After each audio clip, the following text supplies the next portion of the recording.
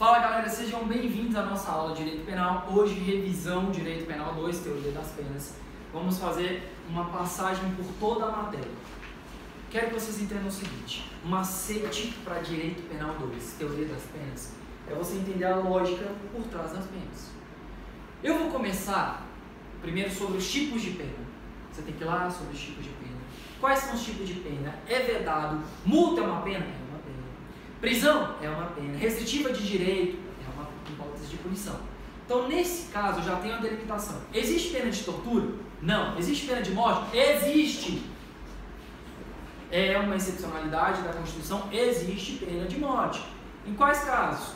No caso de guerra declarada, a doutrina entende sobre a questão dos crimes ambientais, com a extinção da empresa. Nós temos ainda a lei do abate, mas, regra geral, a gente vai utilizar a Constituição Federal porque ela é objetiva e direta com relação a isso.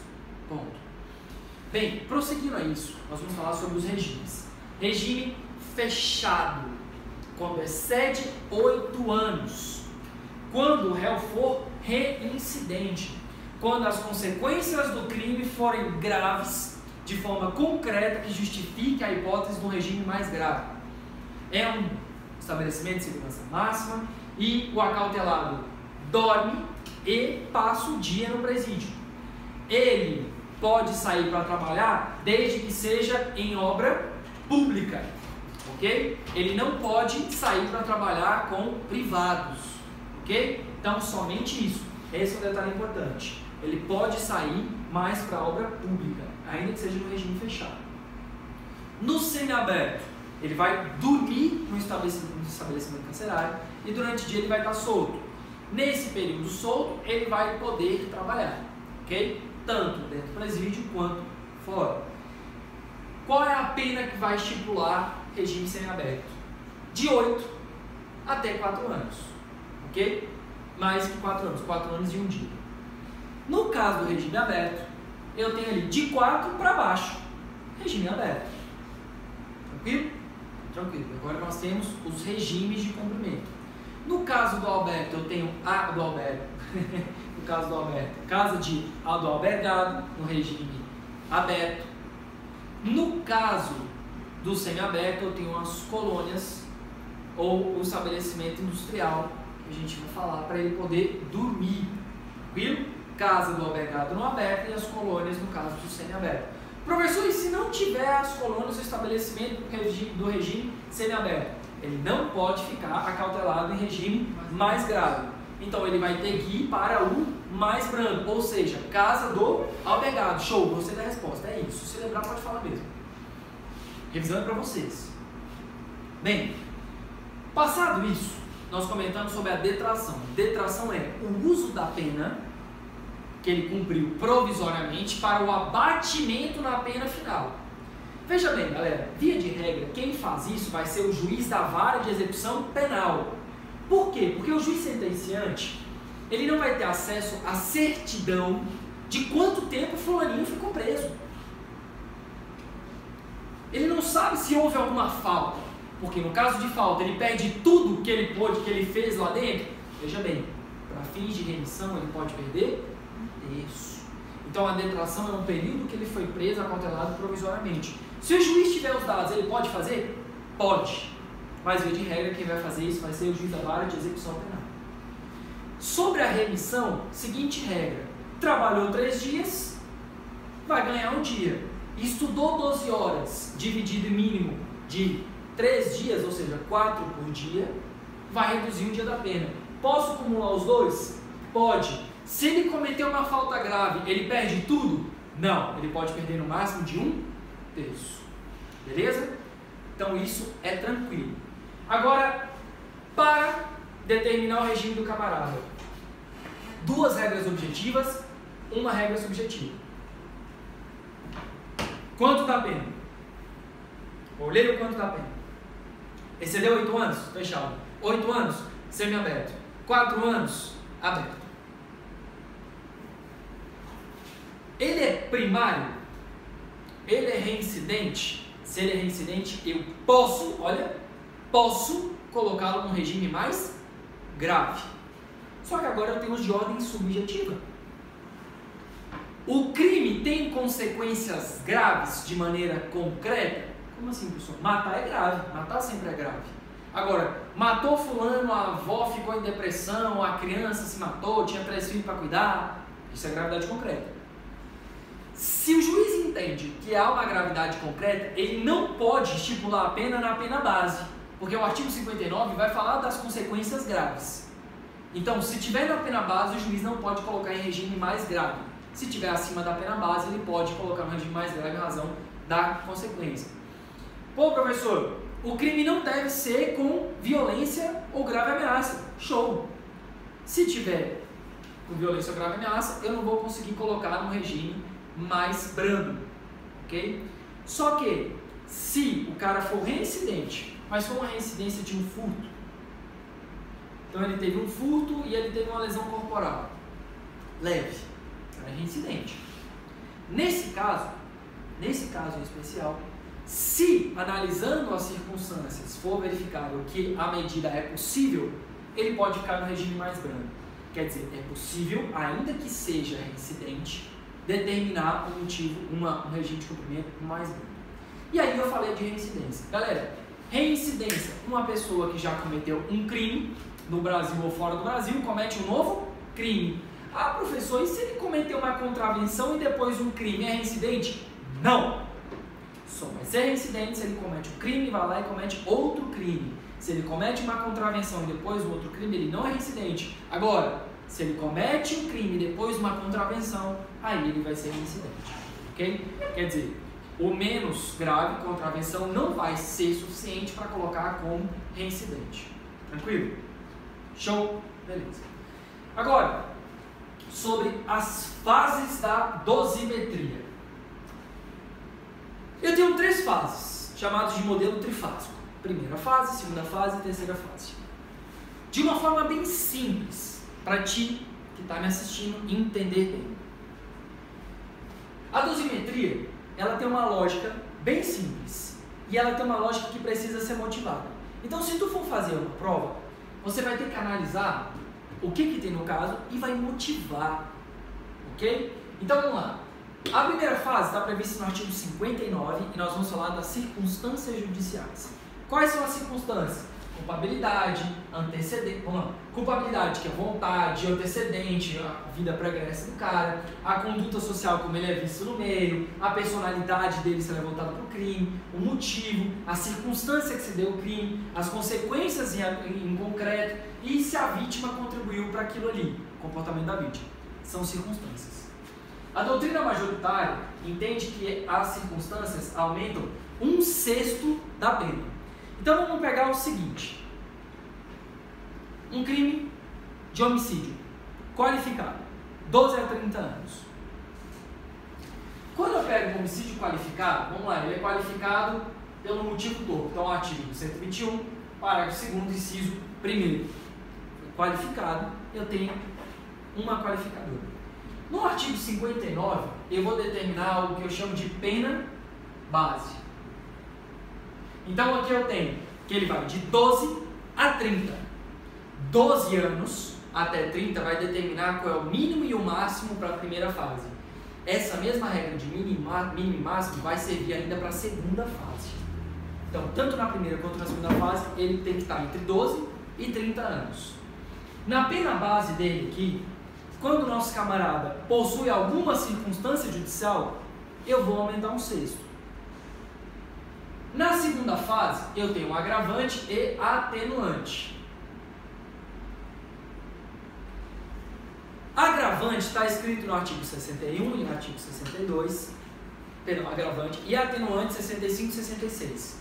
Agravantes são taxativas, atenuantes são exemplificativas porque eu tenho no artigo 66 uma atenuante inominada.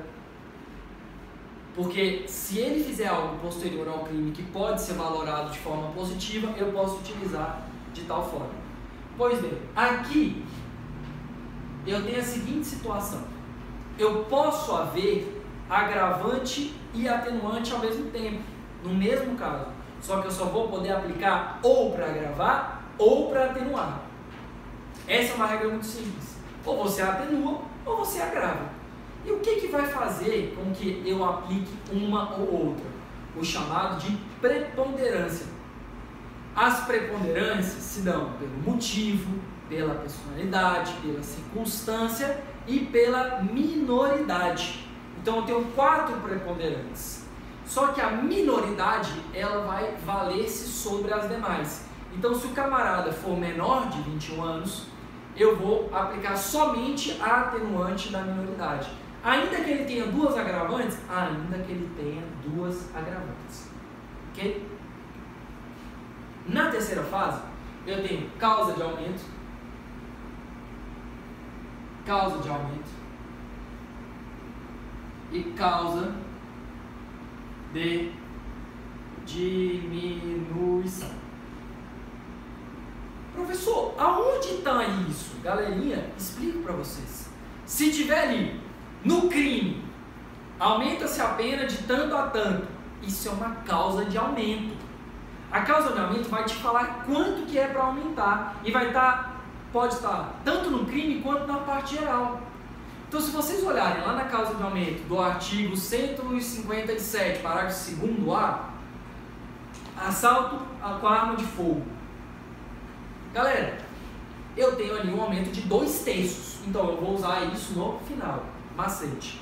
Se passou do artigo 121, é causa de aumento especial. Se for abaixo do 120, causa de aumento geral eu posso, se eu tiver mais de uma causa de aumento especial, ou seja, o mesmo crime traz lá três causas de aumento, eu tenho as três, eu posso aplicar a maior. Se eu tiver na mesma circunstância, eu posso utilizar a maior, sendo especial. Se for geral, eu vou aplicar todas. Ok? Se for geral, eu aplico todas. Quando eu tiver uma causa de aumento e uma causa de diminuição especial, primeiro eu aumento, depois eu diminuo. Se eu tiver uma causa geral e uma causa especial, primeiro a causa especial, depois a causa geral. Então vamos colocar nome aos bois. Vamos lá, eu tenho 57, roubo a mão armada, 2A. E eu tenho ainda uma causa geral de tentativa de roubo à mão armada. O que, que eu vou aplicar primeiro? Você aplica o roubo à mão armada e depois você aplica a causa de diminuição geral. Beleza? Regra: primeiro a especial, depois a geral. Tranquilos? Show. Ótimo. Beleza. Isso encerra a dosimetria. Agora você, vocês estão aqui. Presta atenção. Vamos botar um caso. Nosso camaradinha cometeu um homicídio por motivo torpe. Na modalidade tentada. Ele é desempregado. E ele é reincidente. Então veja bem, ele cometeu um crime por motivo torpe. Pensa, eu sempre falo isso, pensa no truco. Cada uma das situações vão ser algo. Então olha só, a primeira qualificadora, que é motivo torpe, eu vou usar para determinar a pena base. Então a minha primeira qualificadora no meu truco aqui vai ser para falar que a pena base dele vai ser de 12 a 30. Usei a minha primeira carta. Tem uma circunstância judicial? Tem. Ele é um desempregado, um arruaceiro. Então aqui eu tenho uma circunstância judicial. Eu vou aumentar um sexto da minha pena base. Um sexto de 12. Eu vou ter 14 anos. Eu falei que o meu camaradinho é reincidente. Ele é reincidente. Só que agora eu vou outro detalhe. Esse alminha cebosa ele tem 19 anos e é reincidente. Então essa miserinha tem 19 anos. Reincidência e minoridade, qual que vai prevalecer? Minoridade. Então eu tenho 14 menos 1 sexto. Professor, daria 11,7. Pode 11,7? Não, porque tem que respeitar a regra do mínimo. Então vai ser 12 anos. Ah, professor, mas no caso foi na modalidade tentada. Ele não conseguiu matar o camarada. Beleza.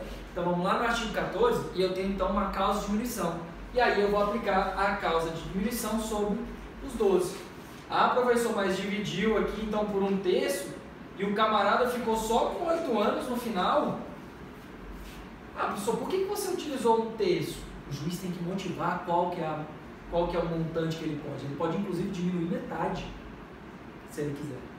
Só que ele precisa motivar. Então, se o cara foi primário, não tem antecedente, tem um bom convívio social, o cara não tem nada de errado, o juiz pode motivar. Necessidade de motivação.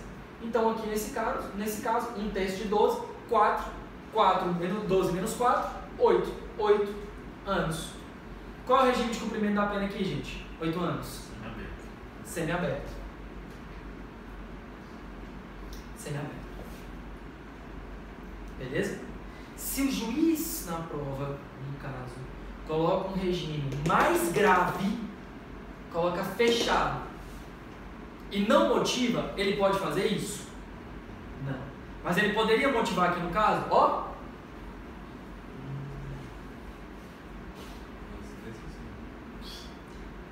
Prestaram atenção nesse detalhe que vocês passaram batido?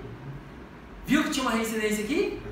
Então veja, se você tivesse motivado 8 anos fechado pela reincidência, eu ia falar, boa, tá certo. Só que veja, necessariamente vai ter que ser motivado, porque você pode colocar assim um regime fechado, principalmente porque aqui no caso a gente está falando de uma tentativa de homicídio mediante violência ou grave ameaça. Entenderam? Viu como a gente pode acabar caindo no erro se a gente só, for só pela matemática? Esse peguinha sobre a quantidade, a, o mínimo e o regime mais grave tem que tomar muito cuidado. Eu acho que isso vai cair em prova agora. Não só na nossa prova, mas eu estou apostando isso para concurso e para OAB. Porque tem sido levado muito em voga a dosimetria da pena. Por causa do caso Lula, por causa dos casos em comum. Então, dosimetria, a meu ver, é uma matéria do momento para ser cobrado em questões. Beleza? Então, é bom ficar atento com isso.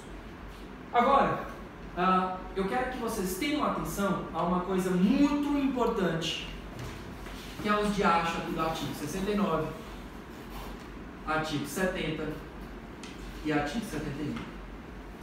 Essas miserinhas aqui, elas precisam de uma enorme atenção.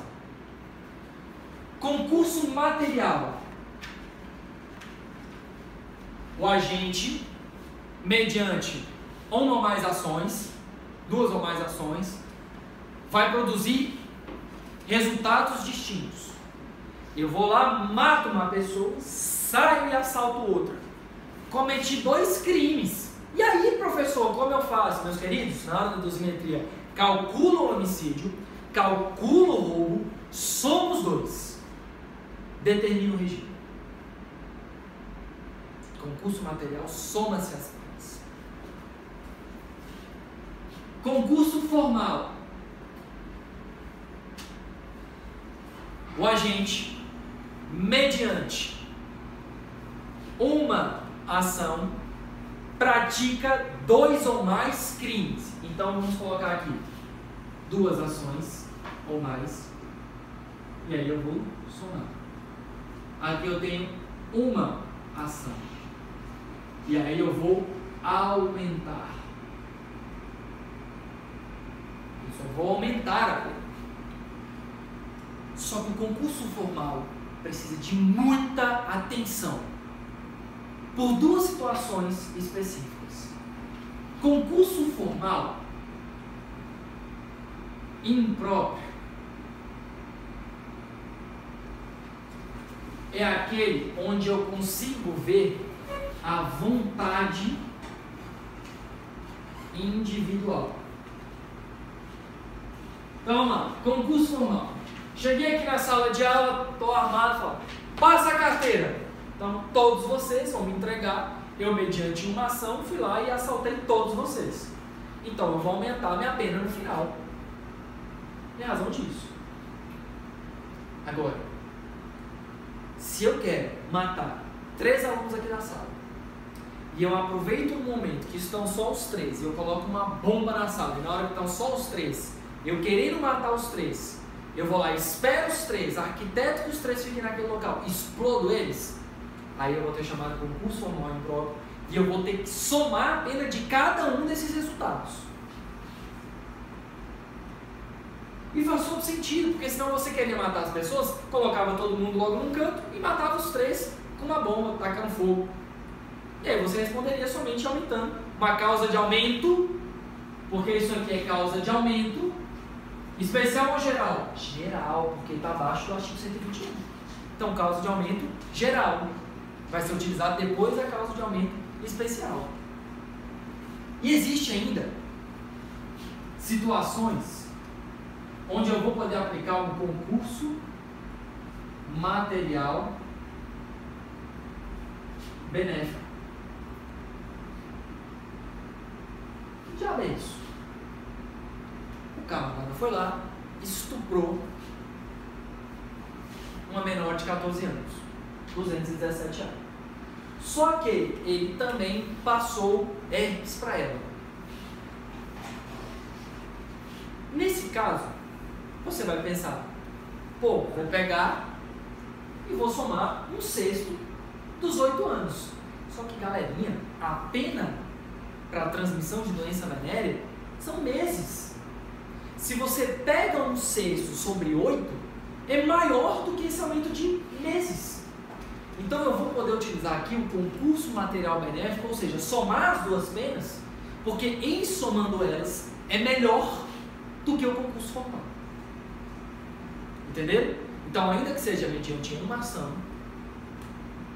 mais de um resultado, eu ainda posso tentar buscar o concurso material benéfico, porque a pena para aplicação do concurso formal é melhor, aliás, ela é pior do que o concurso material.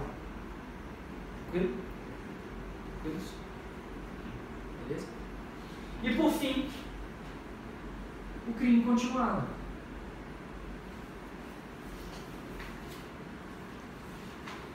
Que o agente, sobre mesma circunstância, modus operandi, mesmo tipo de crime, pratica conduta de forma sequenciada, continuada. A jurisprudência tem entendido que o lapso temporal não pode exceder 30 dias para reconhecimento de crime continuado. Beleza? Agora, crime de ordem tributária. Qual é o momento para você sonegar a sua declaração de imposto de ano, de renda? Somente no período da declaração do imposto de renda. Se todo ano você declara imposto de renda de forma ilícita, você não está fazendo isso de forma isolada, você está fazendo isso de forma continuada. Então, nesse caso, em especial, tu tens o reconhecimento de crime continuado. Mesmo modo operante, mesmo crime, mesma conduta, mesma forma. Sequência. Ok? Tá, e aonde que aplica isso? Galera, isso aqui você vai aplicar se for material, você vai somar as penas, você vai fazer duas dosimetrias e vai somar. Se for concurso formal próprio, no final da pena você vai aumentar então uma causa de aumento geral. Se for impróprio, você vai ter que fazer dosimetria uma por uma e somar no fim. Se for concurso material benéfico, ao invés de você aumentar um sexto, você vai fazer as duas dosimetrias e somar. E se for crime continuado, você vai pegar ao fim e vai aplicar uma causa de aumento. O crime continuado, conforme você vai aumentando a quantidade de crimes que você comete, você vai aumentando. Um sexto até chegar lá um meio. Um sexto, um quinto, quarto, um terço, um meio. Entenderam? Galera, em suma, é isso. Beleza? Acho que um semestre de teoria das penas, resumindo aí num vídeo de aproximadamente 20 e poucos minutos. Tranquilo? Então, até a próxima.